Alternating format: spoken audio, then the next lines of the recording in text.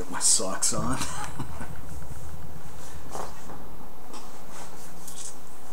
There's probably going to be a little bit of delay. What do you got? Um, yeah, it, there, there you go. You're live. Webcam only. Hello, community. I am Stephen Daniele, art director for Kingdom Games, and I am in my home studio today because we're going to be drawing. Uh, with me, as always, is our distinguished, honorable community manager, Chris Bashir. That would be me. I am here. I'm here to learn about art. Teach me. I'm going to turn up the volume so they can hear you. Sounds like a good idea. So community bushes, or ah, sorry, Chris. I was trying to say Bashir there. Has uh, hooked me up with this great software, OBS. Maybe you're familiar with it, maybe you're not. But um, right now I'm going to switch it over, and you should be looking at just some craziness. And now you should be seeing uh, my Photoshop desktop, and that's what I want to show you today. So one of the things that, um, actually I'll just start with the basics. I'm going to be working in Photoshop. And for those of you that are familiar with Photoshop, uh, you know that now they're going to a monthly subscription. I think it's about $20 a month and they keep you updated with all the latest things going on. Uh, something I've done in the previous shows is shown you how to make brushes. Uh, this particular time I'm actually going to go searching for brushes and let's see if this works. Ah, it does.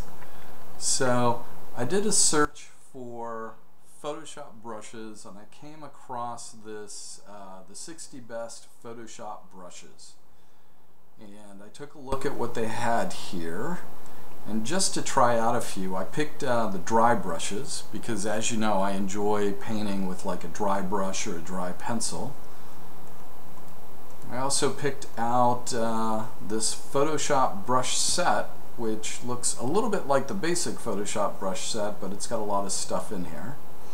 I should call out the artists who created these too. So the dry brushes come from an artist named Kirk Wallace. The Photoshop brush set that I'm going to take a look at is from Matt Heath. And the ones that I'm really interested in trying out is this dry brush set from Chris Spooner. Now with each of these, they offer them for you for free, but you do have to like fill out uh, kind of a online join the group, so you will get some email. So make sure you always use your like business account email when you do these kinds of things. So, before I get started, uh, I want to, and you'll have to forgive my camera, it's got like autofocus issues, which is uh, a little annoying. You always look good, Steven. Don't worry about it. Yeah, even when it's going in and out of focus, I'm going to try and compensate for it. Uh, I'm also wearing my Frazetta t-shirt here. That's right, hopefully you all remember who Frank Frazetta is. And, uh, I gotta send a shout out to Robert Rodriguez for uh, hosting a Frazetta museum every year at South by Southwest. So if you're a Frazetta junkie like myself, hit Austin in March and spend some time in the Frazetta Museum. It's a really cool place. Uh, I also want to send a shout out to Amber Rain. Thank you for uh, posting and playing the game and sharing your videos and feedback. Uh, community 5 Guardians of David has been out since last Tuesday, the 24th of November, to a resounding success. Uh, if you played it and you've spent more than an hour in it, you know how good it gets. It's about a 20 hour game. And uh, let your friends know. The game is awesome. I know on the Steam page, uh, some of the reviews are mixed, but if you take a quick look at the time invested, anyone who doesn't play at least two or three hours is eh, indifferent. Anyone who plays over two, three hours absolutely gets it. We They're have a brilliant game. for 18, 20 hours when they are playing more than two hours. They're playing the whole game. Right. so 18 to 20 hours. It's a fantastic experience. It's very interesting. and I found it really unexpected and at a thoughtful level. So I enjoy a good story. I enjoyed it quite a bit. Okay, I'm going to switch this back. Um, so I've just downloaded these brushes. Oh my gosh. I'm in a rut on the floor. And I have those brushes into, and where they go is your computer, local drive, users, Steven, app data, roaming, Adobe, Photoshop, presets, brushes. There's a few hoops to go through to find this, but it's it's actually a hidden folder, so it takes a little bit. But that's where you want to put the brushes. And then in Photoshop here, it's just a matter of opening up your brush presets and then we are going to click on load brushes. And then I have to go and remember the names of the brushes I added. And the first one is going to be Spoon Graphics Dry Brush Set. So we'll come down here and we'll look at Spoon Graphics Dry Brush Set. I'm going to go ahead and load that. And when you load that these brushes actually show up in the bottom of your stack so I'm very interested to see what those look like. Oh, and they're crazy big brushes too. Alright, the next set I picked up, I'm not sure if it's those, Raster Dry Brushes by Kirk Wallace, and he calls those TRZ Own Dry Brushes. So let's go to Load Brushes, and let's go find TRZ. Okay, there they are. Load. Now, when I go in here and I go to load brushes, uh, you'll see that Photoshop comes with a ton of brushes already for you to mess with. Uh, so if you really want to get into painting and drawing, spend some time playing with those brushes and finding things that you like. Okay, so I'm going to close that preset. All these guys are now in here. There we go. And as you know, I am using a give you a look at my setup here with the camera. Hopefully I can pull this over a little bit. I am using a 24 inch Cintiq uh, it's not the touch Cintiq, it's just, why is that blurry? Come on. Technology. yeah, what's going on with the technology? You're breaking it, Steven. You're breaking I am breaking it. Alright. Chris, do we have any participants in our community? Uh, we have uh, Skyman 1978. He's also known as Andrew, and I believe we're doing a podcast with him tomorrow. So it should be very interesting. So hello to you.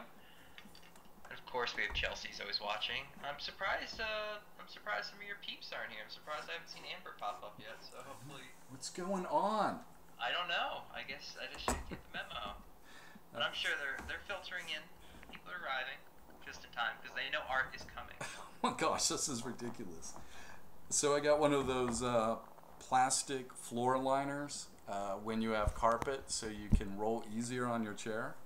The problem is it, it actually creates divots in the plastic and then you get stuck. yes. Okay. Um, oh, hey, what are we going to draw? You tell me. That's what I want to know. Uh, all I just promised there would be art. What are we drawing? I don't what know, Are you but drawing? I just, I don't know what I just opened there, but it kind of freaked me out. Okay, Control Alt, uh, Control Alt Z is multiple undos, and actually before we get started, uh, let's talk a little bit about five, and let's go do some searching. We're going to Egypt, and specifically the Sinai. So let's see what we can find with Egypt, Sinai, and images. And what we are doing is looking at um, creating new environments that we're going to have in 5. And wow, actually that looks really cool. So I'm just going to open that up in a new link. Um, And I, I don't know how anyone else feels, but I actually love just searching for things I'm not familiar with. Um, now with technology, we've got these uh, Google Earth shots of just about er, everywhere on Earth, and it's just really cool to see all that stuff. Okay, here's another interesting one. Canaan right now? Uh, we're actually so for the future, for things to come, and as you know, concept is always out on the forefront of production. Um, we are going to be, well, eventually we are going to be expanding the regions that 5 takes place in. And we're going to be expanding to the southwest, deeper into the Sinai Peninsula and into Egypt. We're also going to be expanding to the east and uh, the lands of Assyria and Babylonia. So. I, it's very exciting. I'm like stoked. So the first thing I want to do is start, well, let's start building some concepts of what these places may look like. Monastery of St. Catherine. Oh, hey, there's a nice shot. Oh, you know what I'm not doing? I need to set the uh, size. So under search tools, if you set the size to larger than 800 by 600, you have an easier time with uh, better photographs, larger, usable reference showing up. Um, Lou with a view. That's actually kind of funny, but I like those rocks. And I know that's somewhere in Egypt, but that looks pretty cool. And I like those. Wow, that's a big one. Wallpaper. So whenever I get started, it's research. And once I get a few images that I like, I'm just going to save them to reference. So we've got this image here. We've got that one. I like those rocks. Uh, I'm not sure how you would describe these rocks, but they're kind of big, bumpy, roundish mountains. They look like they've been worn down over millennia by wind and rain. And then I want to say this is like the Temple of Karnak or Luxor. That's what it is. Uh, and this is really relevant because we certainly want to put places that are mysterious and temple-like structures in this area. And then that's just a view of the mountains. And I'm kind of liking that shape. So I'm getting my screens a little filled up, so I'm actually just going to leave that there, and then I'll look at it. Okay, so first thing I want to do is just an empty layer. Now, historically, um, when I'm working, I start with a very, that's not it.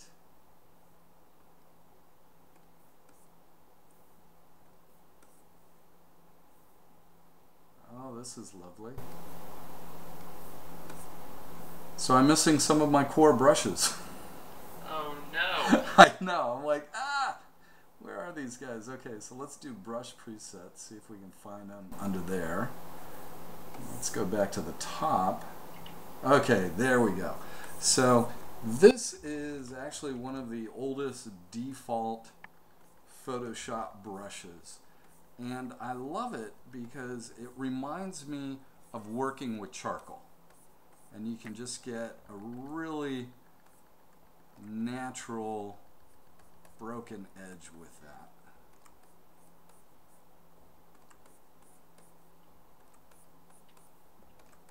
So that's kind of cool. Now, it's been a few weeks since I've done anything, so the first thing I'm going to be doing is actually just coming in here and warming up. And so let's go and take a look at these new brushes that we downloaded. And I want to try out these pencil brushes here on the end. Now, these things are huge.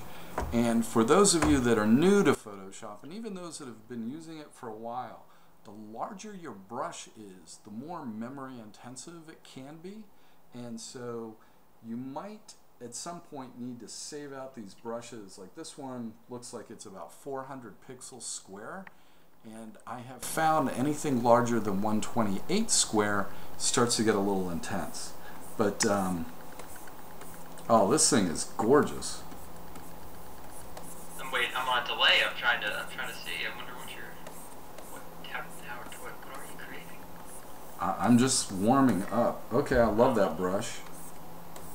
Oh, that's incredible too. So Steven, can you tell me why? Why do we concept? What is the What is the purpose of concept? What do you do with concepts? Concept saves money. Okay. Why I- does it save money? That's the bottom line. So when you're creating a entertainment product like a game, and uh, in our particular case, hey, we're we want to do some things in Egypt. Well, we could actually put the production team right to work, saying, make Egypt rocks and give us an Egyptian temple, and every single artist will do whatever they think is cool. And it takes a lot more time to build in 3D, and then you've got to sculpt in 3D, and then you've got to create all your materials, and then you got to get that in the game engine. Where with concept, you can draw out a dozen, half a dozen variations of rocks in just a day or two, and then that way you can make a gut call. Yes, we like the third option that you did, so let's pass that to the production team. So at the end of the day, concept artist's job is to solve problems and ultimately to save the company money. And By how much of concept art is used, and how much is just put Oh. to 90% of concept art is not used. Um, if you enjoy concept art and like you get yourself some art books from games or movies or that sort of thing, you're always going to come across images that you think look much better than what the final decisions were. And that's that is part of the process. It's like in creating something entertainment based, you need a lot of people to do it. And you have to get all those people on the same page. So even though it might not be the best looking piece of art, it will most certainly be the most appropriate piece of art that's used for the game. Though just looking at the art in the context of art itself, it might not be the best piece at all. Makes sense. It's kind of sad that you throw out all that art, but I guess it's not throwing it out. It's Oh. just experimenting. Okay. So if anyone's looking for new brushes, I highly recommend going to that website and checking out 60 Best Photoshop Brushes. I am instantly falling in love with this. I'm actually control. Yeah, let me uh, delete and let me move this over a bit so we can see it better. And so let me take a quick look. I, I'm mumbling, aren't I? Uh, I can hear you pretty clearly. All right, so the first thing I want to do, like I like that. We're never going to get that perspective in a uh, isometric game, but I want to try and capture that feel, and I like what's happening there. I love this. We got to do something like that Luxor Temple, and then I love these interesting shape mountains and rocks. So I'm going to go with something a little like that. And the first thing I'm going to do is Oh. Yeah, actually I'll stick with this. Just gonna work in just black. And do you always start in black, or that's just because it's visible? Is that what you use to kind of sketch things out? Uh, yes. I pretty much always just, I start with a 50% gray background, uh, and then I go to black to start, and then I'll start erasing away creating shapes, and then eventually just going in, getting some more detail there. And I like where, actually I like where that's going.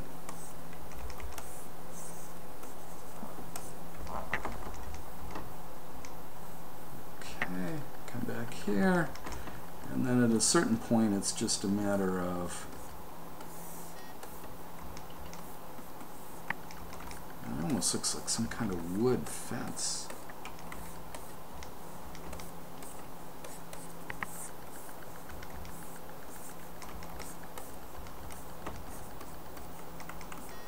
There's Amber Rain. Amber! Hey, we gave a shout out to you a little earlier. Thank you for all your support. It is greatly appreciated.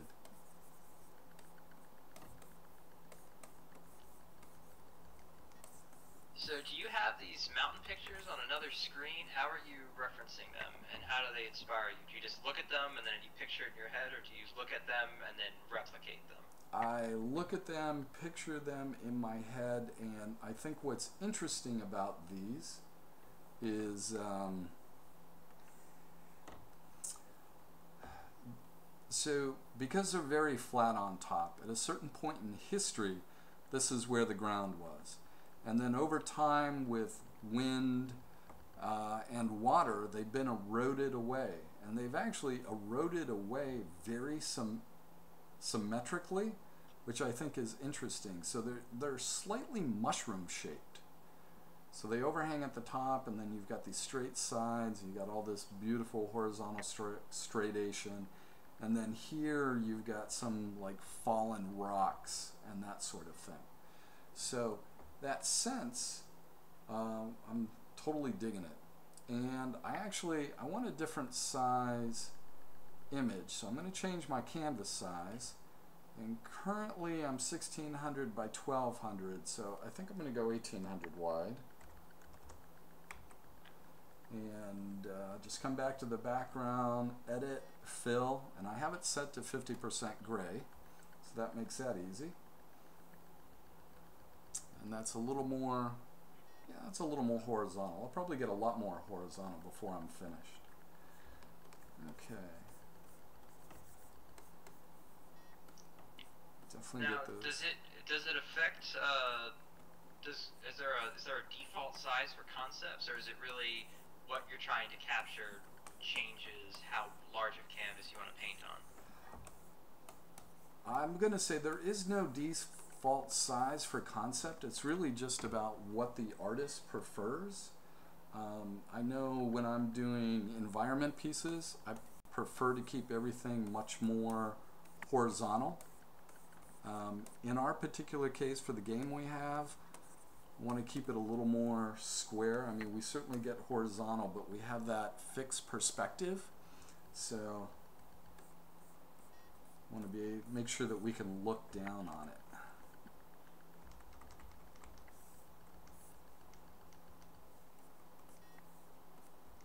And then the next thing I need is uh, some light direction.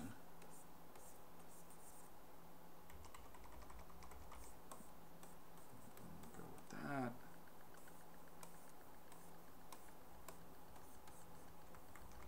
get the light coming from the upper right, which is kind of funny because historically I always make the light coming from the upper left. Why the switch? it just happened to work that way. There's no magic. There's a lot of. If you've ever heard the term happy accident, where you're just painting and then things happen and you're like, oh, hey, that's kind of cool. I like that. I'm going to go with it. This early part in the concepting phase is I look for those happy accidents for things to show up. Okay. Man, I really like that brush. So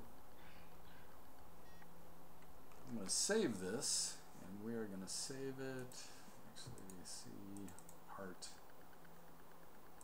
projects, Kingdom Games, concept, and we'll create a new folder. And call this DLC. And this one is going to be Egypt 01.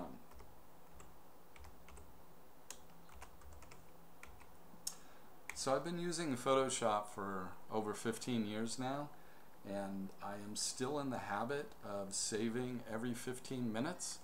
I recommend that if you're a Photoshop user, you know occasionally Photoshop just like freaks out and crashes on you. So it's always important to uh, save as often as you can. Okay, so let me, uh, just going to darken that whole thing.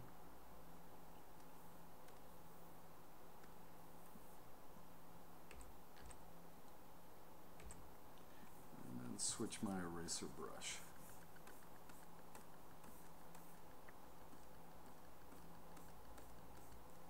So is the eraser more of a sculpting tool? What what why use the eraser instead of drawing it freehand? I, so painting and successful digital painting is not necessarily about what you put down on the canvas, but what you take away. And it's certainly like if you're an oil painter, you'll put down your darks very transparent and then your opaques will start to thicken up and then your lights are really thick. But you'll be working with, um, you're carving it out. And so being that I started traditionally with my work, I simply, instead of like using a, this is so weird, camera's backwards. So instead of using my thumb to kind of smear it or adjust it or a rag to wipe away to expose the shapes that I want, I will just erase away with the brush.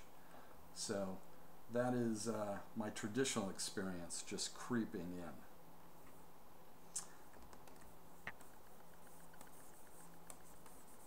All right. So we have any questions from the community? It's a little quiet today. I'm surprised. A little quiet. Um, Amber spammed you out to everyone she knows, though, so I'm sure your fans are coming in droves. Droves. awesome. Uh, Chris, we should let everyone know that uh, the Kingdom Art Show. What are we going to call this? The Wolf and the Lion. Um, kind of like that. Yeah, we have to. I'm gonna have to create a new YouTube playlist. We haven't come up with that yet. Yeah, we're playing with the names that you said: the Wolf and the Lion, the Pen and the Lion, Pen of the Pen of the Five. I think you said.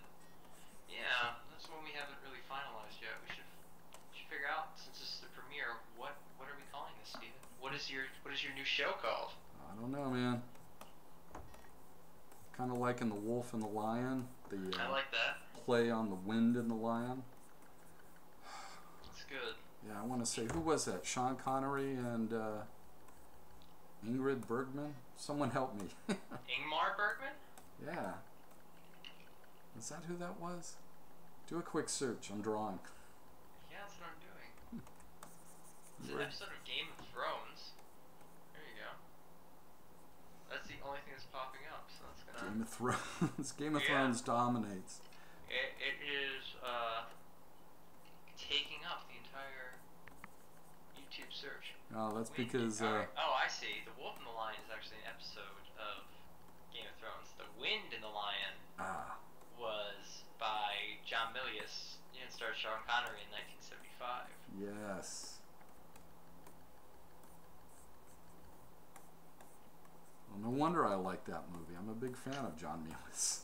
The Lamb and the Lion, Amber suggests, which I think was another one you had suggested. Yeah, I like that. The Lamb and the Lion. Got a nice little biblical illusion when you go that way too. Yeah, it does. That's cool. I think you are frozen on Twitch. I could be wrong. No! Let me see. That might just be the internet here is uh, dying on us. So I'm happy where just that rough is at. So I'm going to leave that and uh, let's just start with a new one. Clean slate. Let's go take a look at a reference again. Cool desert. One of Luxor. Looks cool. Sinai Desert. Okay, I like this shape rock. So we're going to try something a little bubblier like that. And I'm going to try out, man, this thing is massive. 1590. I have no idea why he makes brushes this big. Switch out to black. And one of the things you got to keep in mind too, and you always want to test out, is brushes can be designed or work better if you're right-handed versus left-handed. So, being left-handed, I uh, yeah, that's kind of pretty. Except it falls apart when it gets down to a reasonable size.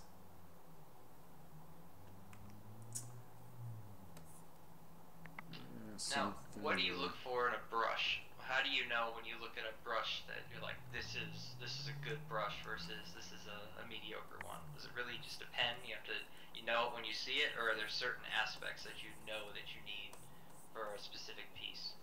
So,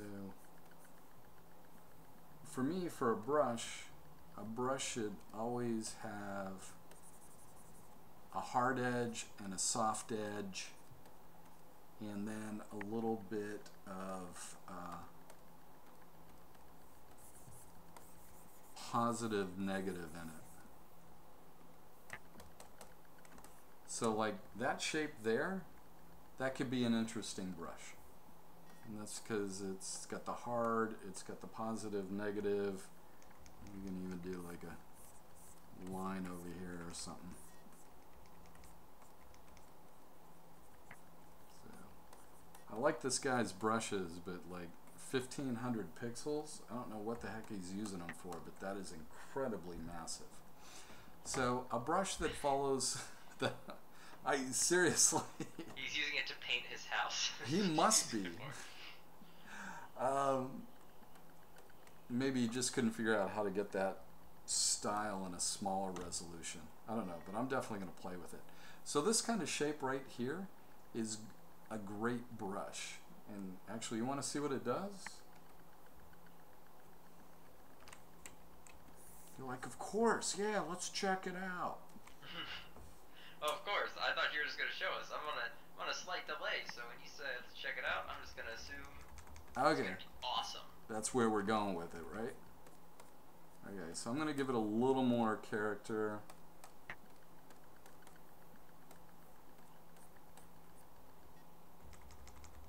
Ah, wrong direction. And I'm going to grab that, Control C, Control N, Control V.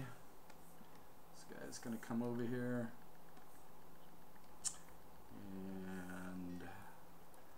Let's go image size, and we'll just go 128 at 72, please. No.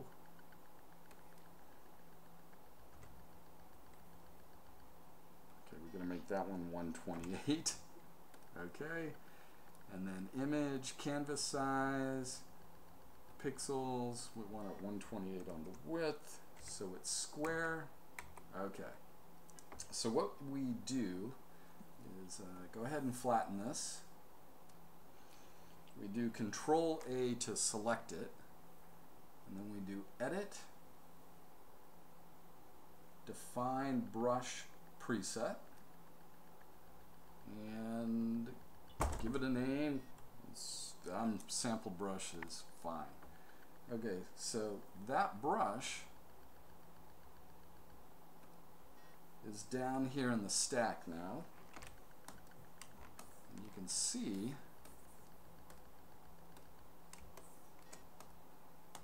that I'm now making that. So now what I want to do with it is give it some character.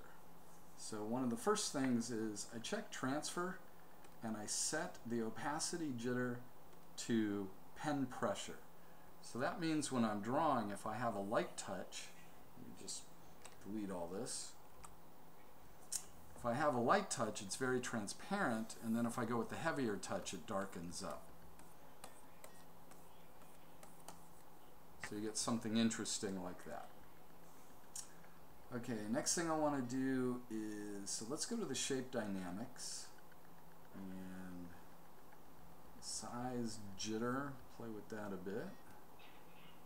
And diameter, kind of like that.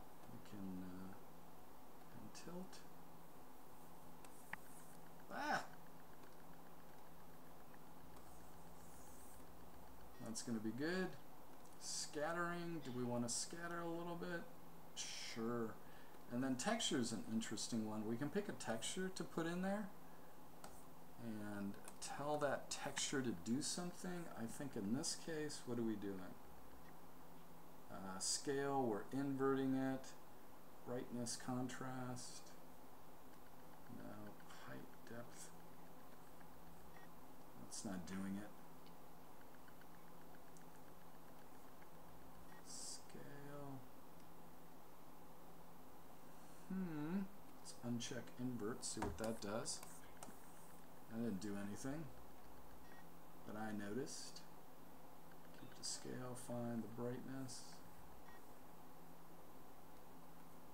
Yeah, it's not working for me. So let's try dual brush. Come down here and have it give a yeah, we'll do a color burn and we'll pick something like that.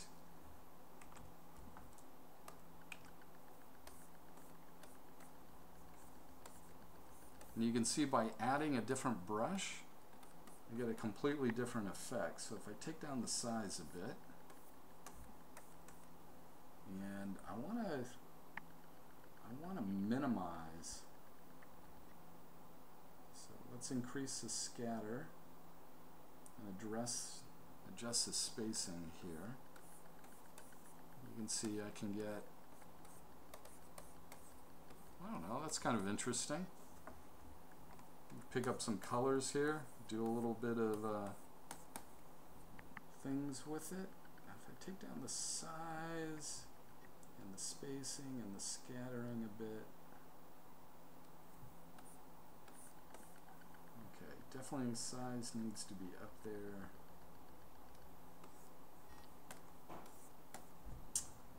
And I want to scatter count, if we increase the count, there we go. So I'm going to increase the count because I want more of my original brush to show through.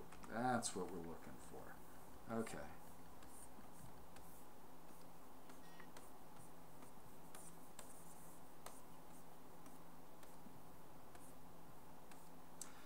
So when you look at this, you see that to the left it's kind of natural and mushy and splattery, and to the right you have a very hard edge. It's actually a really cool brush. And this is one you just created. Yeah, I just did it. Again, those happy accidents. it's like, oh, hey, let's see if this works. Wow, you know what? That looks pretty cool. So the pen pressure is actually really making a difference. So if I'm light-handed, I get the uh, second brush coming through. And then if we do that, oh, that looks cool too. Let me go back the other way. Uh-oh, won't let me do that. Come on.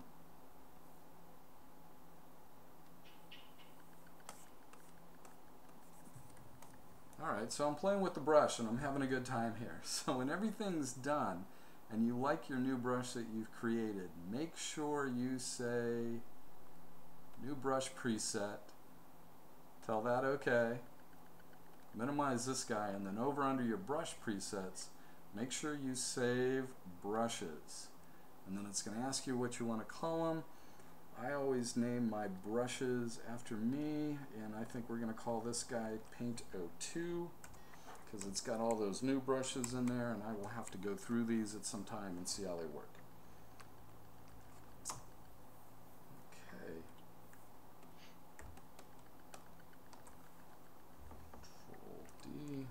I still want more of a horizontal format, so I'm going to expand the canvas size and uh, let's go 30 inches down here, edit, fill, 50% gray.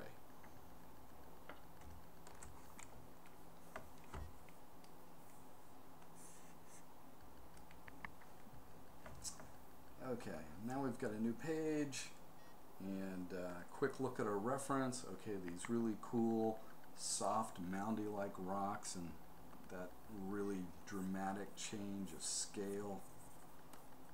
So I'm just going to come in here with this brush we just created.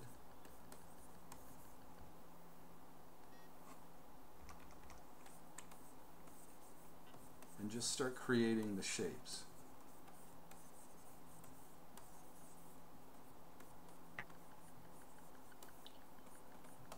And what what speaks to you about Egypt? Is it landscapes? Is it the the colors? Like, is the thing that really sticks out? Do you start with shapes? Do you start with just ideas? Um, for this particular case, I need to start with shapes.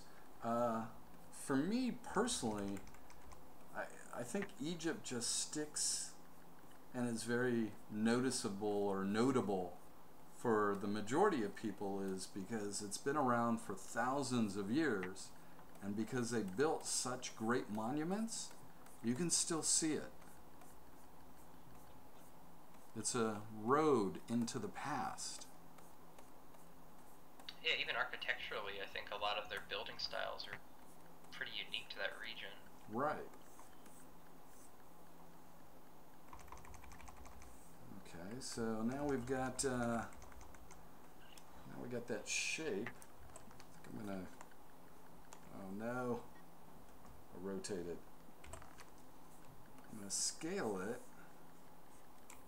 I want more. uh,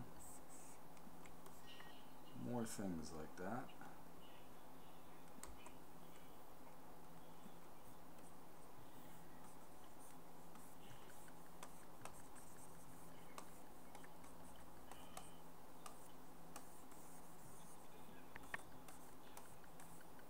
Just put that in there.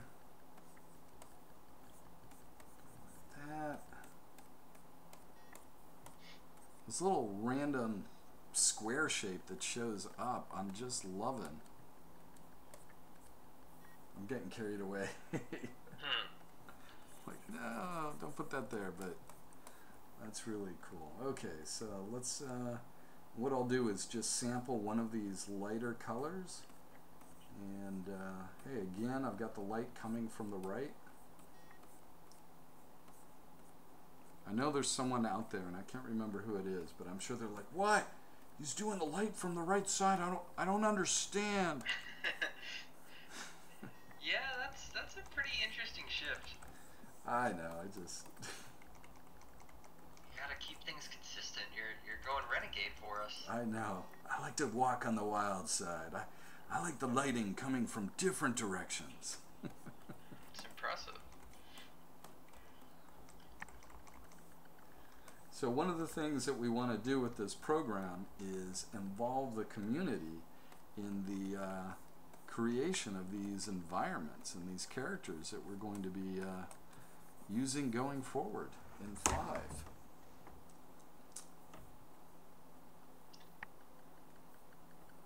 All right, so I'm going to switch out to another brush. Go back to one of these pencil brushes.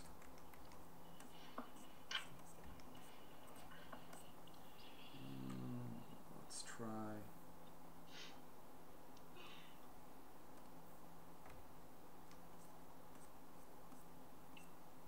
This one of these brushes. Yeah, this one looks pretty, pretty noisy there. There we go.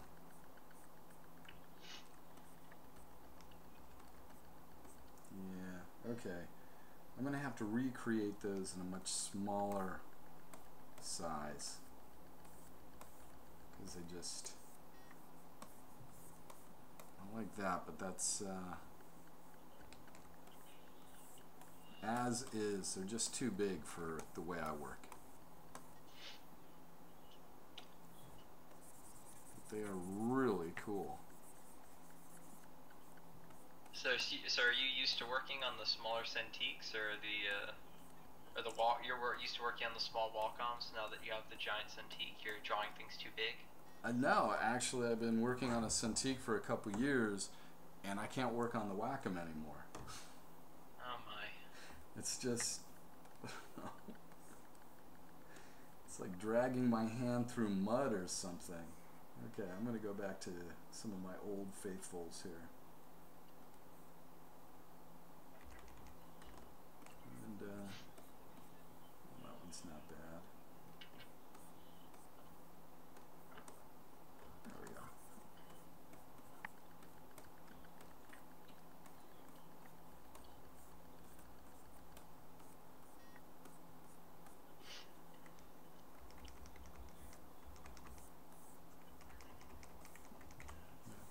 I'm going to turn on a light because it's getting kind of dark.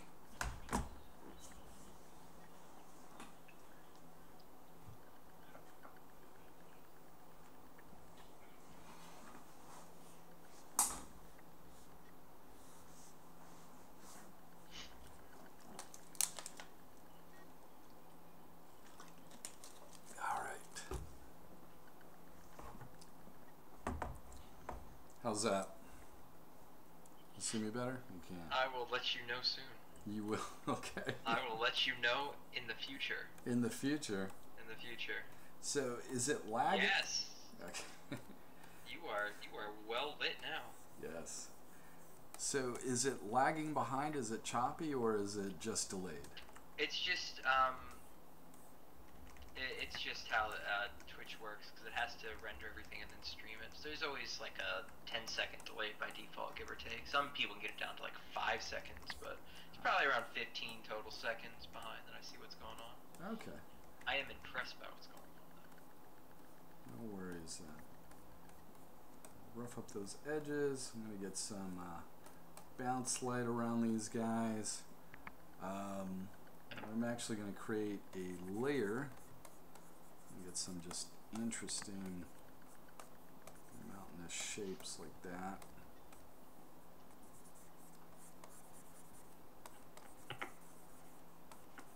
And then what I'll do is I'll just put it behind the other layer. I'm gonna lighten it just a smidge and then merge it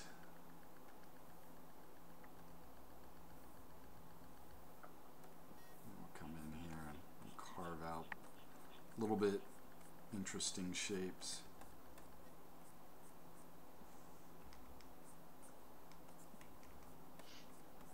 Yeah, I can already see it coming together, even though it's just the the gradients of, of black and gray. You can already kind of see what you're going for. Good. Okay, so down here somewhere, I actually want to start working in some kind of cool temple. And this uh, shape here, I'm going to do something. So this picture of the archway between the rocks is kind of sticking in my head. And I'm like, okay, that actually looks pretty cool. Let's let's see what we can do about getting something like that in here.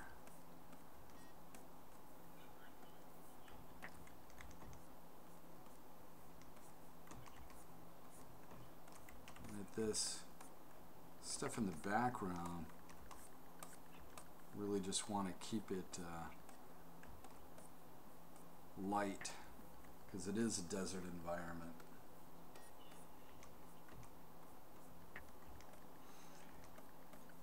Channel my inner Bob Ross. Do you think they have squirrels in uh, the Sinai?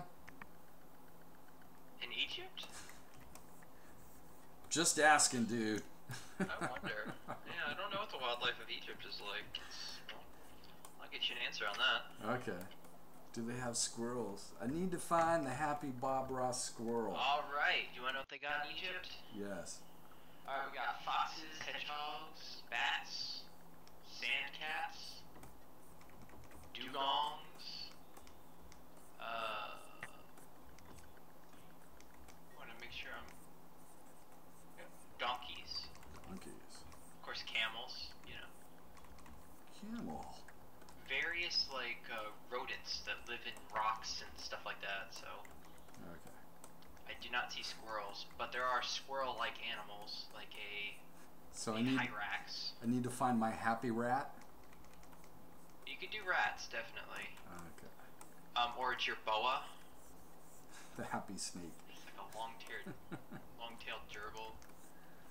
Tons of, a lot more rodents than you'd expect, and then um, a fair amount of aquatic life actually, and then cats and other predatory animals. Okay. No squirrels though.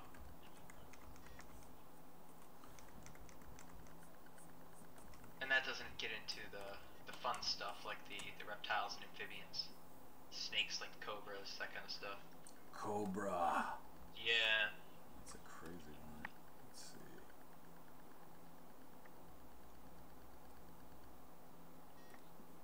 Oh. Actually, this is more of a. That's a plant one. How about this guy? This guy works. Okay, so something I'm going to do here is start to indicate a. Well, actually, I think I'm going to go with the arch.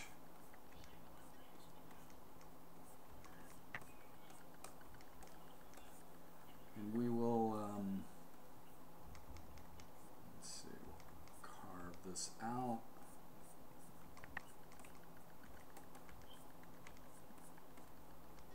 A little rune there.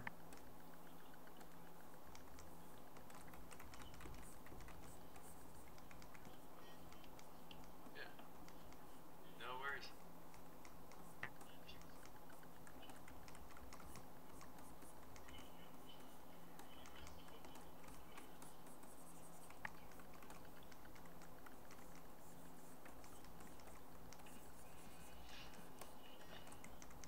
Alright.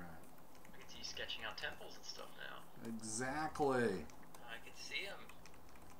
That's amazing. Tell. And that's all the eraser, huh? That's Well, no, this time it's uh, so the eraser cut out the arch like this, and then the rest is uh, painting.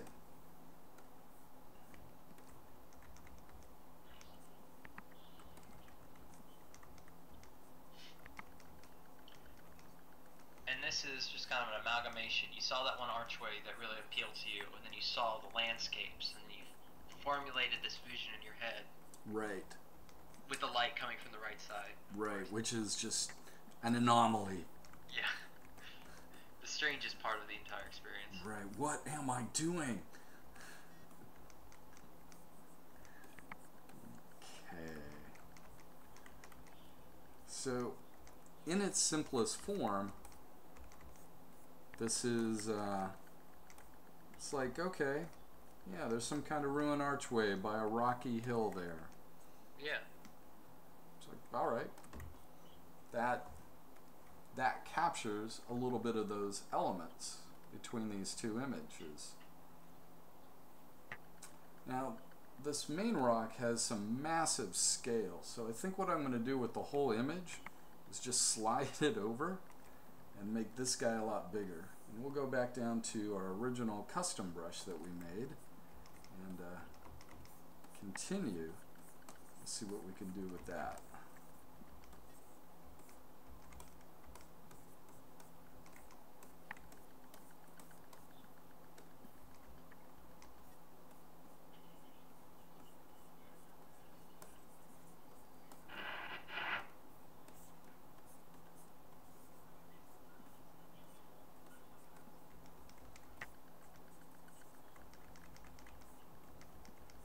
Any questions from the community? Oh, here's one from uh, Chelsea. You might know her. Is it a personal style to draw and then carve out with the eraser, or is that a common method? Oh, that's a good question. Um, so it hangs over from when I used to oil paint. Um, carving out of your medium, whatever you're using, be it eraser or paint or even clay, is actually uh, a good technique. So that just carries over from when I used to paint and I still use it and I actually like it. So like right here, I'm adding color with a brush and I don't like it as much as if I had uh, erased it away. Ah! Stop that.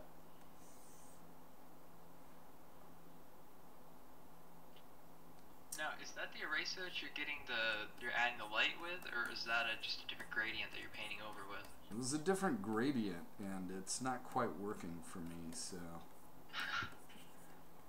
Because what I should be doing is erasing it. Come on. Alright.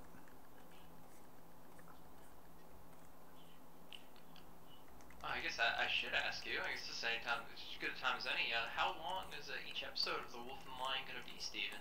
Uh, I think, well, wow, we're coming up on an hour, right? Yeah, we're coming up in an hour right now. Uh, let's keep it going. Let's uh, Alright. ha- keep the show at least at an hour. Maybe we'll go an hour and a half.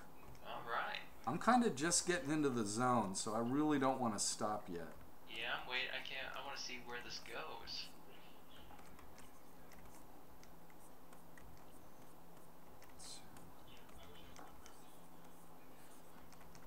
People are getting bored watching, let me know.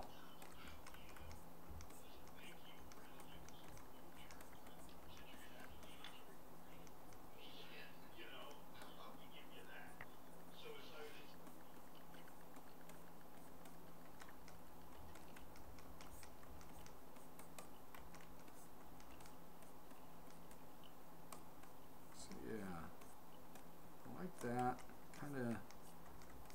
This is almost starting to feel like a uh, like a wall that's collapsed along here.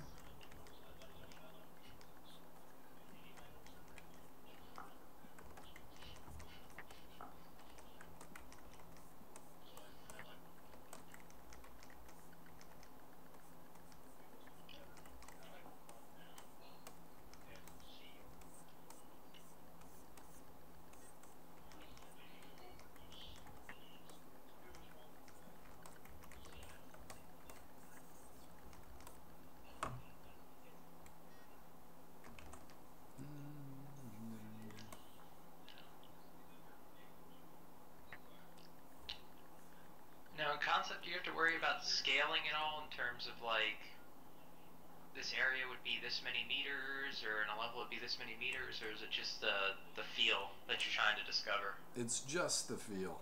Um, there is at a certain point where concept art actually becomes production art, and that production art or production concept art is used to build assets from. And that's when you want to be very mindful of the scale and what size everything is. And in those cases, uh, your concept's always going to have like a little guy standing there for measurement. Amber said she can never be bored. She's learning everything just by watching you. So All right. don't worry about boring anyone. Thank you, Amber. Okay, go back here, look at this image again.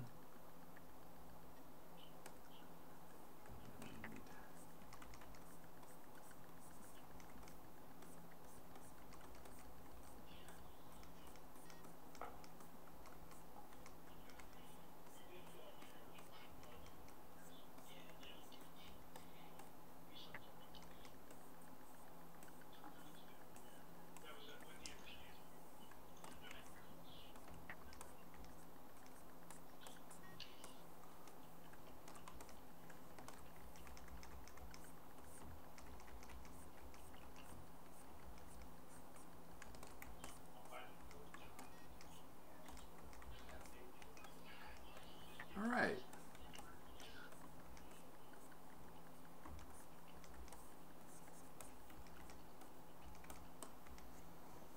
It's kind of an interesting little thing, archway here by these rocks in the desert.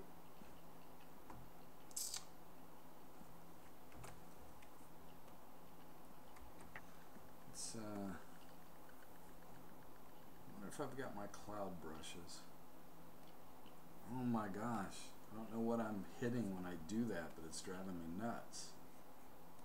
Is that a cloud brush? Yeah. Woohoo! So, a lot of the brushes I use come from an artist by the name of Jamie Jones. I had the uh, pleasure of meeting him some years back.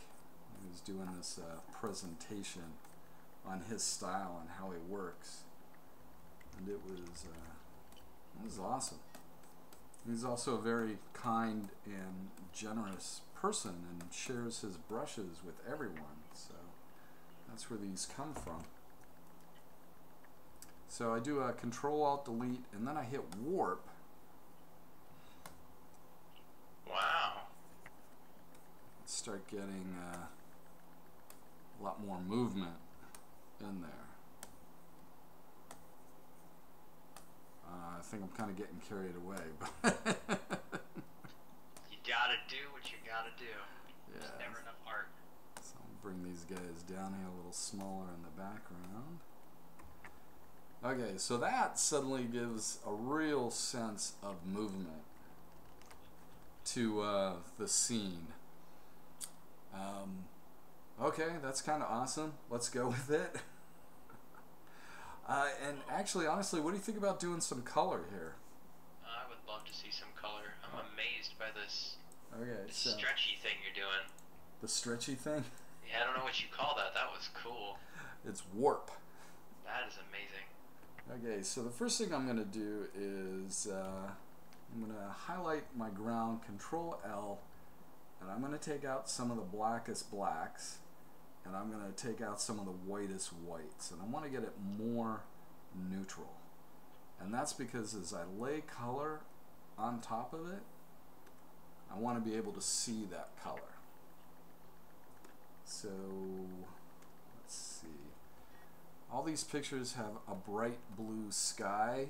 Oh, that one does it. Hmm.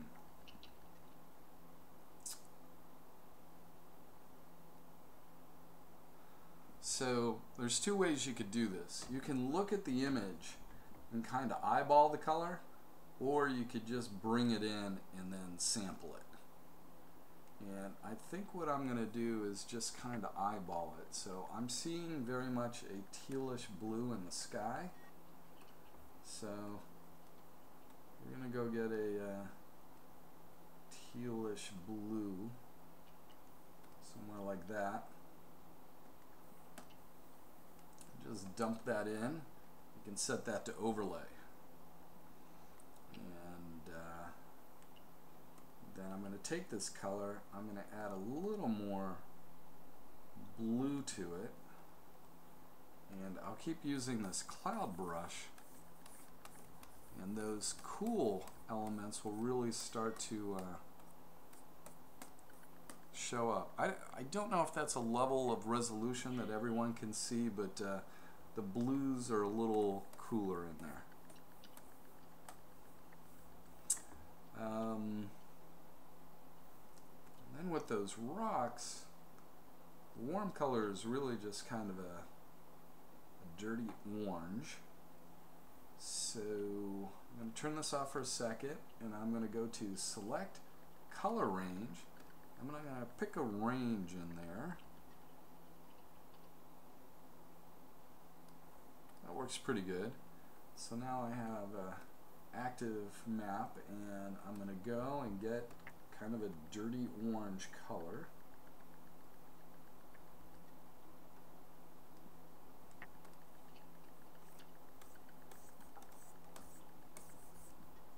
Ooh, didn't want to do it that high and actually I think I better change my brush. There we go. We'll go to this guy. Do you always start with the background colors as your base? Yeah. And that's just, uh, again, painting. Uh, you paint background to foreground.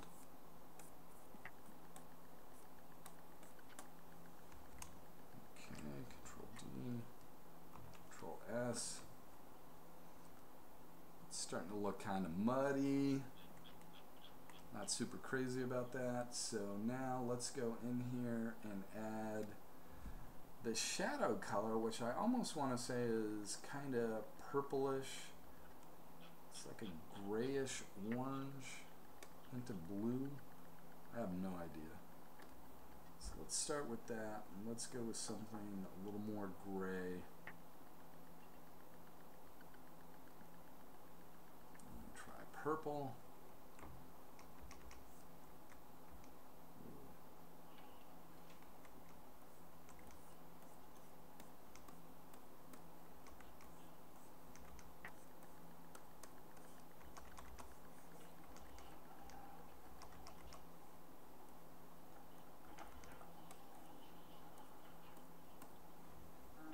Oh my. Okay. Avatar's radio is raiding the channel, Stephen. They are here. yes. They're here and they want to see their favorite. Hey everybody. I hope everyone likes the new setup. You can actually see me working and uh, the art. Which is, I don't know, that's different. That's nice. Okay, so now I got some color in there. And I'm liking that. Am I liking that? So I come back here. And that orange and pink is even more, but I've got this just on an overlay. So I need to add another layer. And I'm going to go get a brush. Let's come in here. And you can see, like, once you get this close, it's just mush. But that's okay. So I want to go richer. There we go.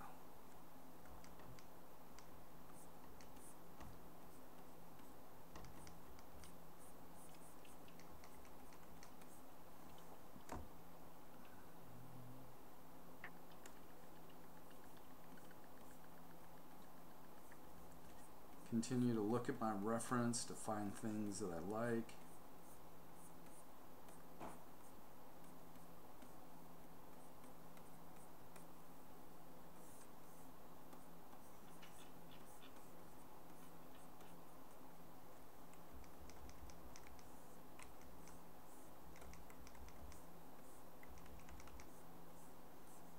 Get a little more detail in there.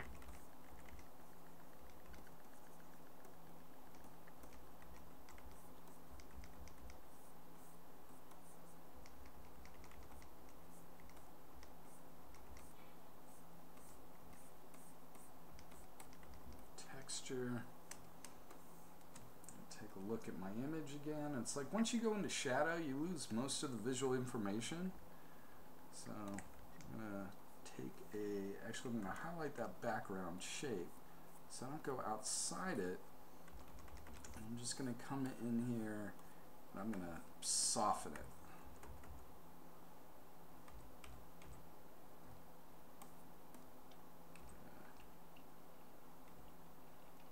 trying to decide which brush I like.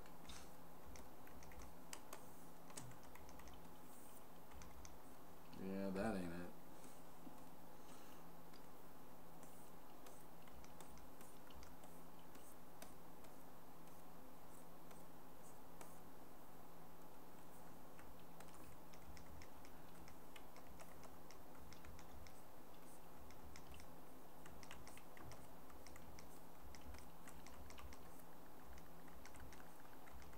Something I also have going is I have my navigator open and I look at it to see how the image is looking full screen. Even though I'm zoomed in here, I want to be able to see the whole thing.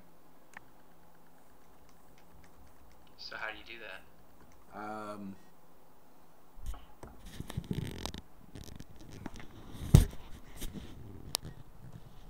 there we go. So that's my second screen and that's my navigator and that red square around it shows the image that I see that I'm close up. And so I will always glance at that as I'm working. Um, so I can see the art pulling back from it. So it's like when you're painting, you always step back from your painting.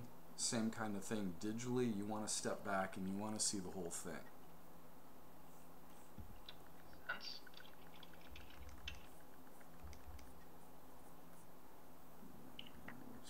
Sexy sends his love. Hey, Royal Sexy. Hope all is well.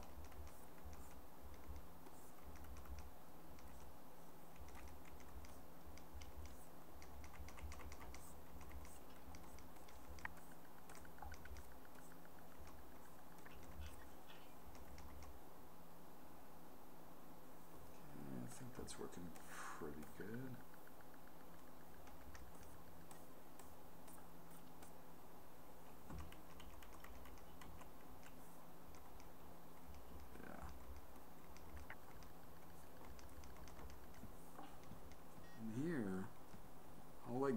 even give a little more looks like bricks in the wall kind of thing. Becomes very obvious man-made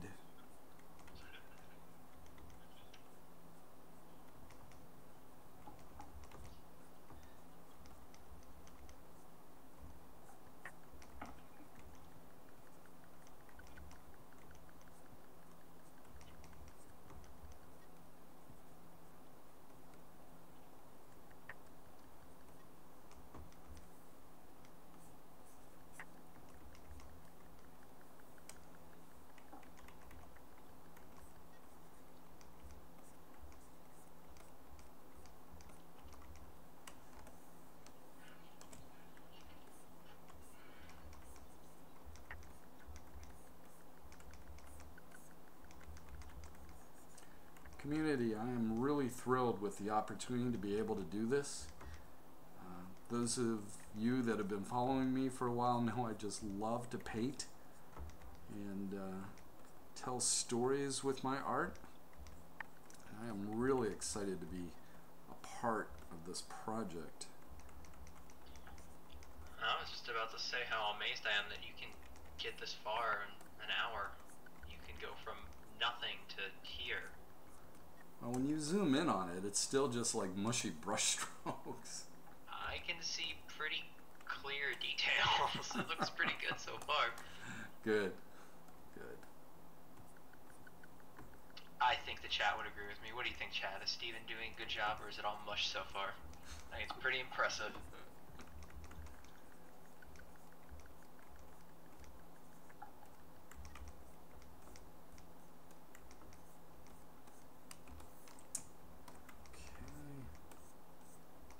Something that's really important too, and the reason like when I started with that background color and I put it everywhere, is because you want to uh, have the dynamicness of the warms playing against the cools.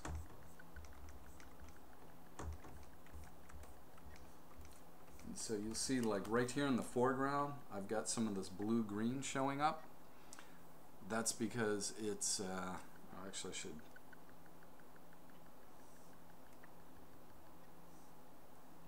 where Okay, there we go. So here in the foreground, I have this little bit of blue-green, and that's because it's bringing in some of that background sky color, and it's very important that you do that. It's like pushing and pulling with the light, just getting everything to play nice together.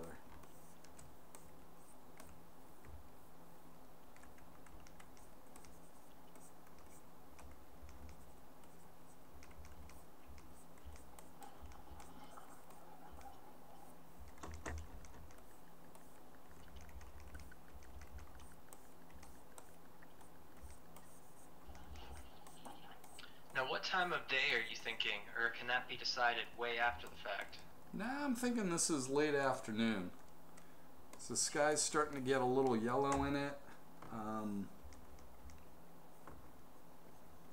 we're getting some long shadows on the rocks.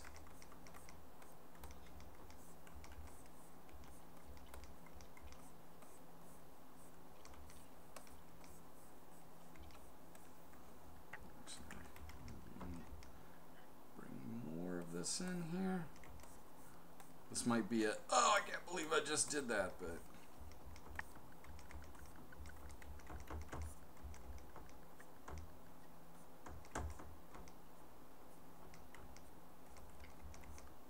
This is going to kind of just indicate shapes over here. Get some kind of ruin.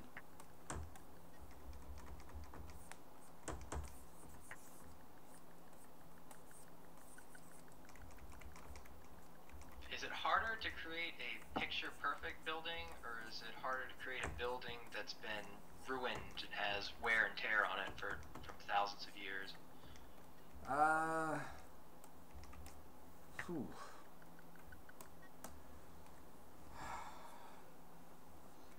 For me, I'm going to say it's harder to create a picture perfect building because there's going to be, like with the wear and tear, there's always going to be mistakes, and you want those mistakes.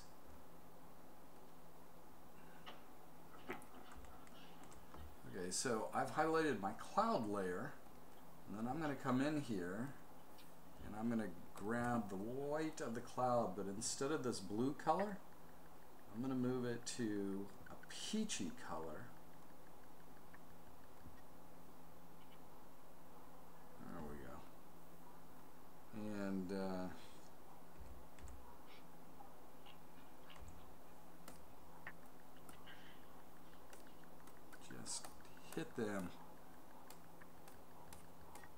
on the edge where the sun's coming from to the right, which I never do.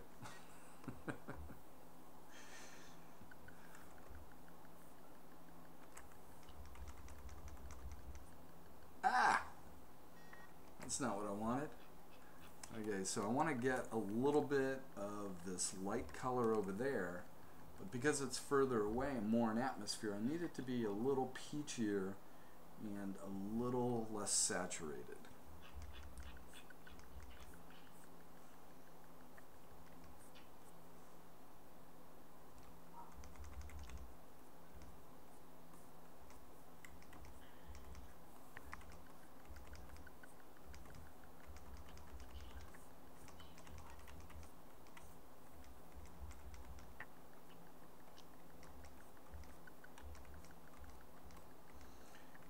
some of those peach highlights. Eh, that's not quite what I wanted. Some of the peach in there. Okay, that's feeling good. Now, the final thing I want to do here is uh, I'm going to create a new layer and I'm going to uh, call it or tag it layer type as color dodge. What does color dodge do? Color dodge is uh, interesting. And I'm just going to start with this brush. I'm going to grab this orangish color. I'm going to go a little more saturated and probably just a bit more red. Wow. That's not what I wanted.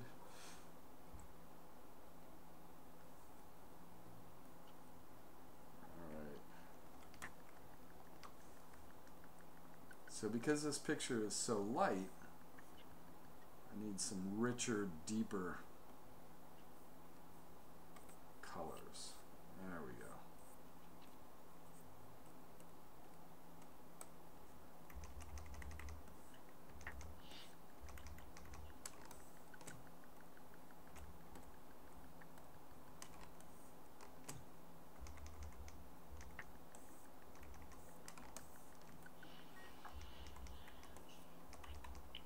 Now, do you have an eye for palettes, or do you have a calculation that knows these colors are complementary, or how do you know what color is uh, the right color? Just experience over time. It always goes back to uh, the basic color wheel, like you learn in elementary school, and then playing on that. I do not have a good a sense of color as some artists out there. I used to work with a fellow named uh, Ryan Gitter. I'm sure he's got a website. His sense of color was just amazing. He can use just the oddest combinations of like pinks and greens or oranges. I'm not sure what happened there. That's what happened. Okay. Um, and really get just a wonderful sense of these beautiful colors. And you look at them and you think, oh, that's gorgeous, but I would never have thought to put those colors together. And he just nails it. What would be an example? Um, well, let's go see. well, I don't know. what colors? Like yellow and brown? That would be a weird one. Nope, I'm at Ryan Gitter. ArtStation.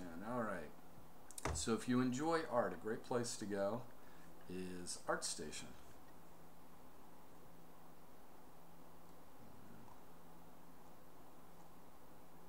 There's one.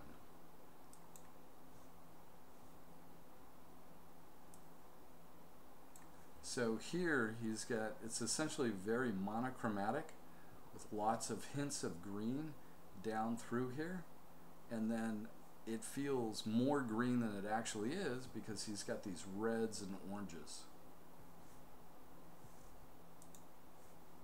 There's another one. Oh, this one's beautiful. So this is, uh, you know, you got the teals and the greens. You got hints of purple in here and red, uh, some blue. He, it actually runs the spectrum. Uh, fantastic. Yeah. I think this is, I'm not sure what he did for this one, but this one I really like too, with the reds, the oranges, and then just this streak of blue in here to really contrast it. It's really nice work. So that's what I mean by a sense of color. So I'm going to take that back a bit and uh, actually I think I'm going to pull that out in the middle there.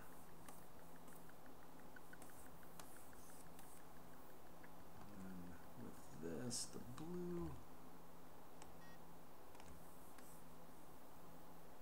Let's get a richer, darker blue, kind of sunsetty. There we go.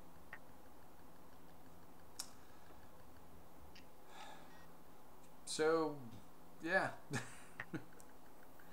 what do you think? Maybe uh, some plants in here? There's got to be a little bit of green, right? There, there is plant life in Egypt. I was surprised. No, very colorful plant life. Is it? Oh yeah. Alright. Make this kind of just gray. And, uh, Okay. Oh, we're talking 3,000 years ago, though, right? right, actually it was much greener 3,000 years ago. Yeah, you have the papyrus plant, which looks kind of like a like a palm tree mi- uh, mixed with a bush. Oh. I suppose I could throw in some palm trees just to be cheeky. Be funny. Uh, what else they got? So, Very like purplish flowers and uh, I guess cacti probably. Ugh! Oh. You know what, I'm going to go with that because that kind of pulls the focus a little a little closer to our focal point there in the center. Um, you know, actually, I'm almost kind of wondering, oh my gosh, what am I doing that does that? Yeah. Oh, let's make a software, but it's only good for right-handed people. Well, you know that is 90% of the population. No, it's 75%, mister. Oh, okay. Don't you forget it.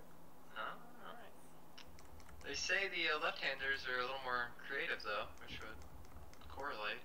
Right, that's because we're in our right mind. Ah. Ah, sorry. Couldn't resist. um, Balanites uh, I Egyptiaca is like this tree that looks like a shrub. So it's like a little stick tree with this huge plum shrub. And it drops fruit, too. oh, that's cool. And there's a giant watermelon plant, I would call it. Oh, the bitter melon plant, I should say. Yeah, so you got some green near Egypt. A little, uh, And it's, there is a there's a type of palm tree that's very strange looking. A fan palm. It's not like the ones you see in Vegas or something.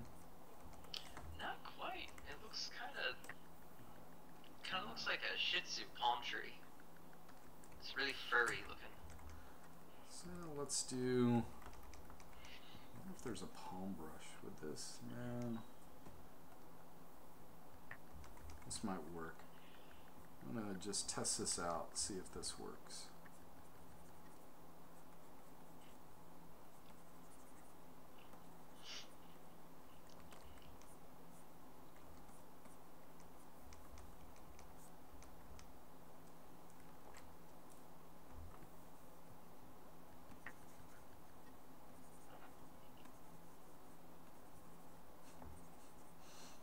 Some scraggly looking palm trees. oh, don't judge me by my palm trees. I don't know. What's the chat think of the palm trees? I kind of like them. Alright. I don't, I don't think I'd use the word scraggly. Scruffy.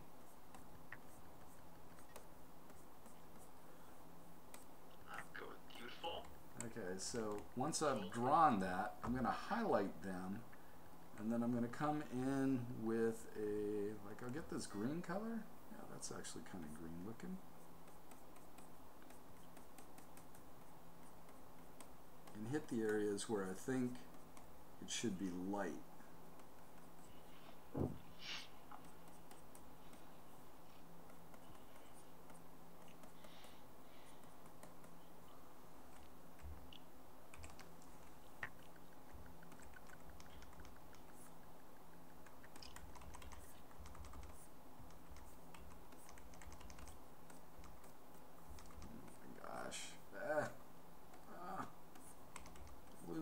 Chris. Oh my.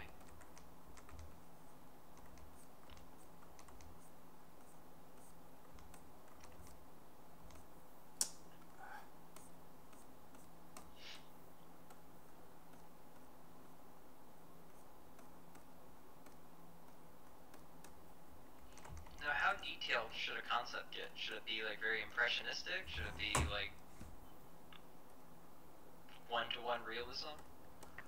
Uh, well, at this point, I like to keep it really impressionistic because what have we spent here? We've spent 90 minutes, correct? Right. And we have a viable concept for the environment that sets tone and mood. So it's late afternoon, it's windy. Actually, that's something I want to do is uh, get some more just that sense of dust blowing.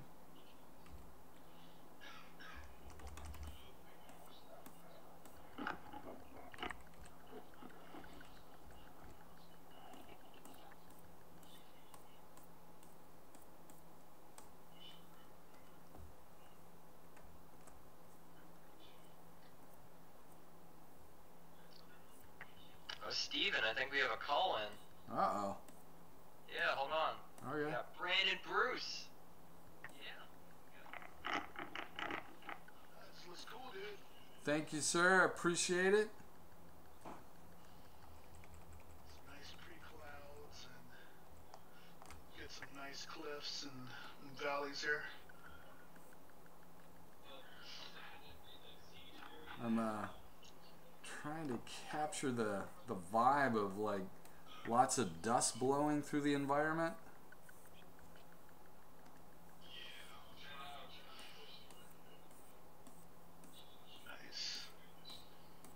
You, sir. Oh, you're very welcome. Looks awesome.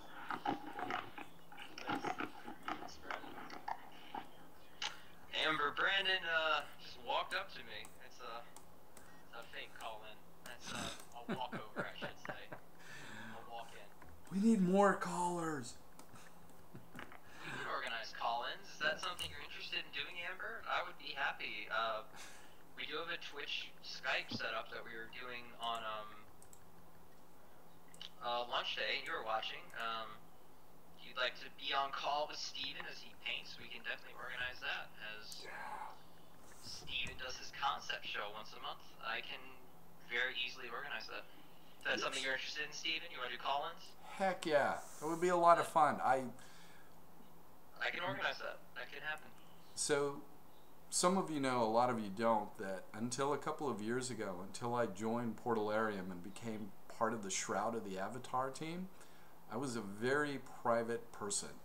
I didn't really engage with anyone. And uh, Gina, our community manager at the time, said, Hey, I had to make you a YouTube channel. And I was a deer in the headlights. And then she explained to me one of my shows got more views than all the other shows combined. And it was like, wow, that's really exciting. People would actually want to watch me work as an artist. And uh, so I've been doing it for, I don't know, the last year and a half. I know I took a 10 month hiatus, had to make a game. But uh, I'm back doing it, and we are going to be here, what, every Thursday? Or the first Thursday of every month. That's what it is, right, Chris? Yeah. Uh, I believe that is the current plan, although I'm open to increasing that as audience demand, as you have time, as Yeah. Yep. So uh, that's what it is for now. Maybe we'll even do every other week. yeah. Um. anything you want to do, I'm open to. So if I know you have some diehard fans, um, the best way to do it is just to tweet Stephen, tweet uh, Kingdom, and let us know this is what you want to see, and we'll make it happen. You, That's you right. gotta let us know, and we'll we'll make it happen. But Amber, definitely next time Stephen is streaming, I will I will have Skype set up, and we will have some sort of call-in thing set up. Pretty easy to do. Excellent. Stephen, I know, is open to it, and uh, I think that'd be great. I would love to see that. I really enjoy doing lunch. I think you did too, Stephen. I like Oh, yeah. call-in Steam, so I think that's something we should definitely do. We do that. The uh, so all of Kingdom Games social media is Kingdom Games ATX. That's right. We Excellent. are on all the your favorite social media sites. We are there. Yes, that is a place to go. So let me walk you through where we started. 90 minutes ago, did uh, this, uh, looking at uh, some reference here. This arch and the Sinai, an image of the Sinai desert, uh, this temple in Luxor. Maybe we'll, we're going to do this next time. This thing is really cool. And uh, this cliff, these mesas are really neat. So that's where we started. We tested out some new brushes, which are really cool, but they're a little big for the size that I work at. And uh, then our next one was this, and I think that was a little more in line of where I want to go with the Egyptian environment. So, and just by turning on each of these layers, you can see how it's working and then that final one that color dodge that just really uh, makes it rich and vibrant brings out the color That's amazing. I can't believe you can just do that in 90 minutes. thanks it takes a lot longer when you have to get really detailed and stuff I I understand that. I think it's a beautiful piece of work. I, I don't know. What does the chat think? I'm pretty impressed. I'll wait for it let me switch back Unbelievable. And you say that you'll do, if you did 100 of these, 90 would be passed on and 10 would move forward into into full production mode and you'd start to go and iterate on those. yeah that's correct so and how many of those levels in production would be in the final game? Uh, that varies from project to project because we're a small studio. Uh, we we need to make less mistakes, so I will uh, I won't be putting anything into production that's not going into the game. And uh, granted, there are always big changes, um, especially when you're creating a new game and you have to be flexible for that and adjust for it. But I think we have a really good understanding of where we want to take five, so there's going to be less of things just abandoned. Right. Awesome work, Stephen. Thank you. Community, I am Stephen Daniele, art director from Kingdom Games, and I am here with Chris, the humble community servant for Kingdom Games. Chris is an amazing community servant.